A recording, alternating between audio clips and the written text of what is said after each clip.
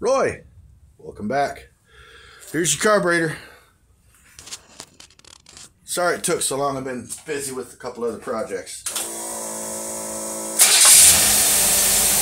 There you go.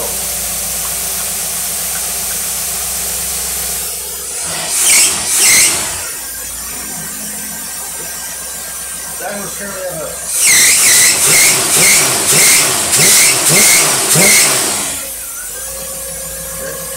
Now we're gonna turn the dyno on. Clackety clackety.